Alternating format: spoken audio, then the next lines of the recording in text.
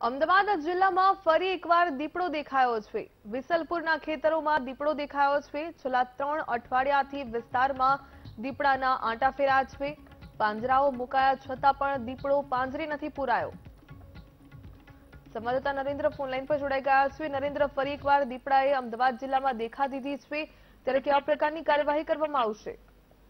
જી ભવિકા, અમદાવાદ જિલ્લાને ખાસ તો વિસલપુર અને એની આજુબાજુના જે વિસ્તારો છે, એ વિસ્તારોની અંદર છેલ્લા ત્રણ અઠવાડિયાથી સતત દીપડો અલગ અલગ દિવસે દેખાતો રહ્યો છે. જંગલ વિભાગ, ફોરેસ્ટ વિભાગ છે, એ પણ પ્રયત્ન કરી રહ્યું છે કે ત્યાં પાંજરા મૂકવામાં આવ્યા છે. લગભગ પચીસ કરતા પણ વધારે પાંજરાઓ મૂકવામાં આવ્યા છે. આમ છતાં પણ હજુ સુધી દીપડો છે એ પાંજરે પુરાયો નથી. અલગ અલગ દિવસે અલગ અલગ વિસ્તારોની અંદર દેખાઈ રહ્યો છે અને એ જ પ્રકારે આજે સવારે પણ દીપડો જે છે, એ આ વિસ્તારોની અંદર ઝાડ લટકેલો આપને જોવા મળી રહ્યો છે, એ દેખાયો છે અને એના જ કારણે, એ આજુબાજુના વિસ્તારની અંદર ફરી એકવાર અત્યારે હાલ ફોરેસ્ટ વિભાગની ટીમ પણ ત્યાં પહોંચી ચૂકી છે અને સાથે જ ખેડૂતોની અંદર પણ એક પ્રકારની દહેશત જોવા મળી રહી છે, કારણ કે લગભગ ત્રણ અઠવાડિયા થઈ ચૂક્યા છે આમ છતાં પણ હજુ આ વિસ્તારો કે જે શહેરથી એકદમ નજીકની અંદર આ વિસ્તાર આવે છે અને વિસ્તારની અંદર દીપડો ફરી રહ્યો હોવા છતાં હજુ સુધી પકડાયો નથી.